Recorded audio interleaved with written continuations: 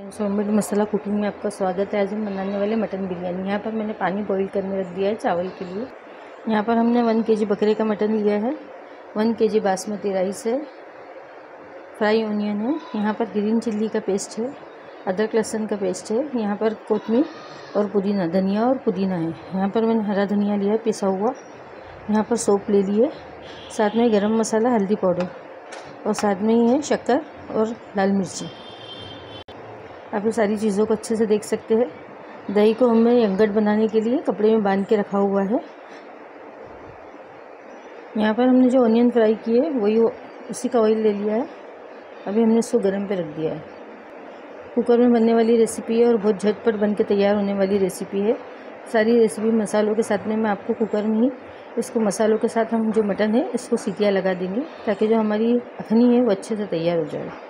जो मटन के साथ मसाला है जो अच्छे से, एक कलरफुल और अच्छा फ्लेवर हमारे को दे।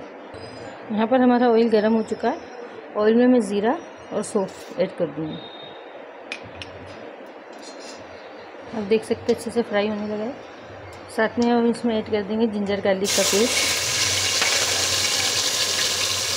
साथ में ऐड कर देंगे इसमें हरी मिर्ची का पेस्ट सारी चीज़ों को अच्छे से मिक्स करेंगे।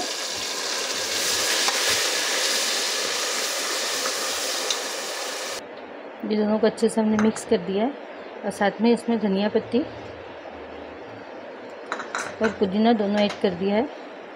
साथ में ही जाएगा इसमें धनिया पाउडर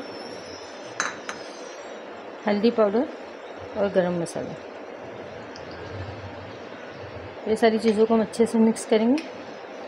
सारे मसाले हमने ऐड कर दिए, सिर्फ़ हमने शक्कर और लाल मिर्ची को बाकी रखा है, क्योंकि जब हमारा गोश्त अच्छे से पक जाएगा, उसके बाद हम इसमें ऐड करेंगे। यहाँ पर आप देख सकते हैं, हमारे मसाले पे ऑयल अच्छे से आने लगा है। अब यहाँ पर हम इसमें गोश्त ऐड कर देंगे।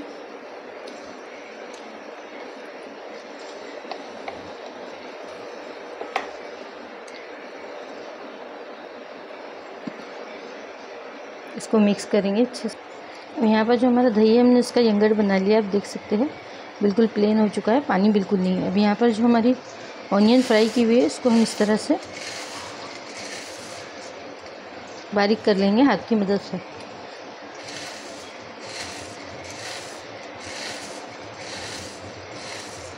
तो इसको हम दही में मिला देंगे। इससे हमारी जो बिरयानी है, उसका कलर बहुत अच्छा आएगा। इसको अच्छे से मिक्स करेंगे। अब आप देख सकते हैं, यहाँ पर हमने सारा मसाला मिला दिया है। मसाला मिलाने के बाद देखिए आप कलर कैसा ग्रीन वगैरह आ रहा है इसका, ग्रीन ग्रीन जैसा। अब हम इस पर सीटी लगा लेंगे। तीन सीटियाँ लगा लेंगे, क्योंकि बकरी का गोश्त जो होता है, वो जल्दी गल जाता है। साथ में यहीं पर हमने दही और प्याज को मिक्स करके रख दिया है। अब हम इसमें नमक ऐड कर देंगे।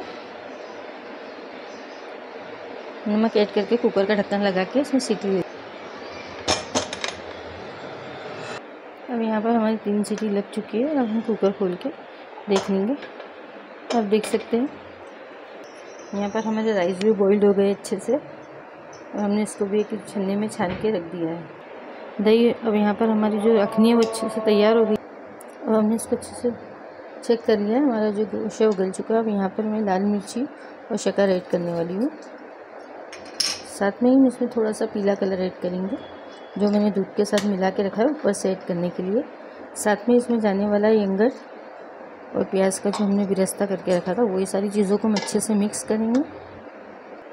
अब हमने यहाँ पर आधे से भी कम जो चावल थे हमारे वो ले लिए और यहाँ पर जो हमारा सारा मसाला अच्छे से रेडी हो चुका है। अब यहाँ पर हमने थोड़े से चावल जो है, वो नीचे तलिए में बिछा दिए है।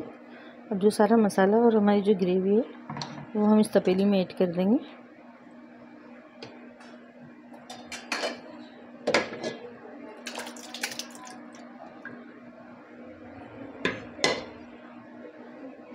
अच्छे से मिक्स करेंगे।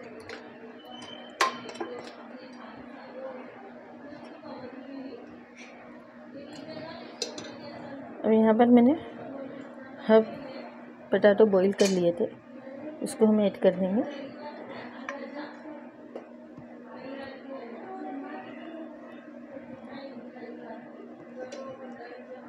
साथ में इसमें थोड़ी सी फ्राई ऑनियन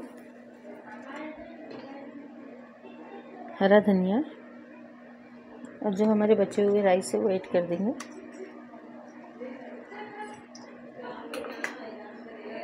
इसको अच्छे से इस तरह हम फैला देंगे। और अब हम इसको पाँच मिनट फुल आँच पे दम रखेंगे। अब यहाँ पर मैंने इसको गैस पे रख दिया है।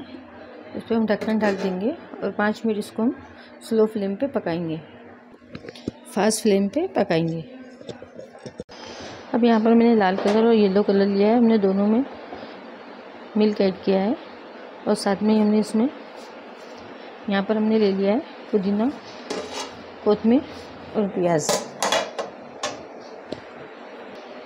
अच्छे से धुआँ निकलने लगा है। अब यहाँ पर हमने गैस का फ्लेम स्लो कर दिया। पहले हम येलो कलर ऐड करेंगे।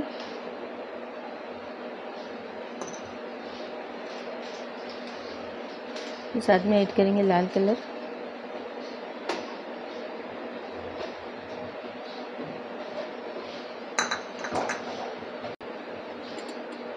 साथ में इसमें हरा धनिया।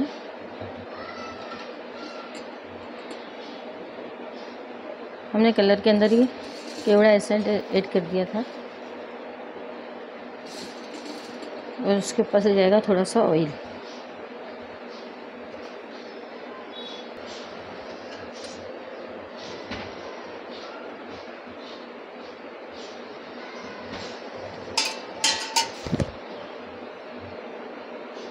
अब यहाँ बिरयानी पे कपड़ा लगा देंगे कपड़ा लगाने के बाद हम इसके ऊपर ढक्कन रख देंगे।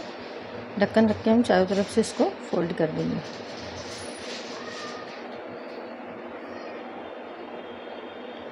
और इसको 10 से 15 मिनट दम पे धीमी आँच पे पकने देंगे।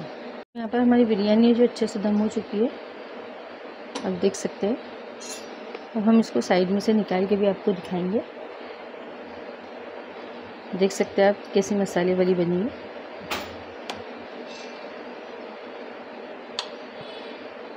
आप देख सकते हैं बिल्कुल परफेक्ट बनी है। अगर आपको मेरी रेसिपी पसंद आए तो लाइक शेयर कमेंट ज़रूर करिए और बताइए मुझे कि आपको मेरी ये बिरयानी कैसी लगी।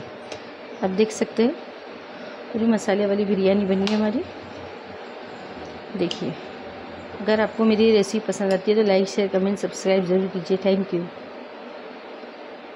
और साथ में यहाँ पर मैंने कॉम्बिनेशन किया है। यहाँ पर हमने खीरा, नींबू, टमाटर और हरी मिर्ची लिए साथ में यहाँ पर दही है और ये हमारी बिरयानी, आप देख सकते हैं। Thank you